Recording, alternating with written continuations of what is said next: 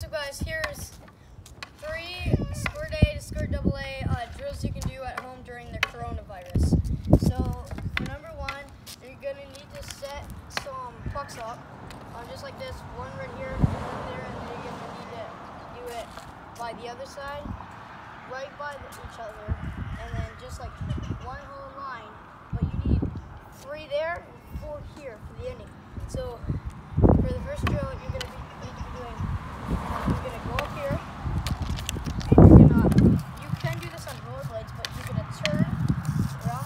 you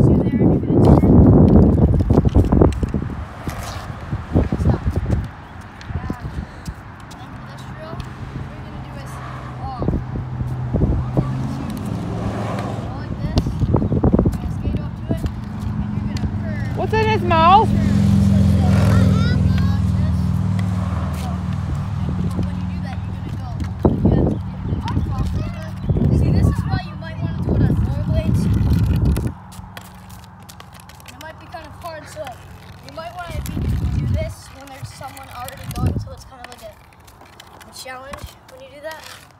So, uh, for number three, you're going to need a partner to do this.